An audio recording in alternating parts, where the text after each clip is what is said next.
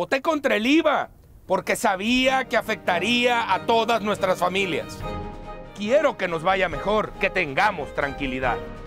Con una policía profesional, honesta y bien capacitada que verdaderamente enfrente a la delincuencia. Mayor bienestar, con mejor atención de salud, mejores salarios, agua potable para todos. Sé cómo hacerlo y sabes que yo sí cumplo. Carlos Mendoza Davis, gobernador PAN PRS.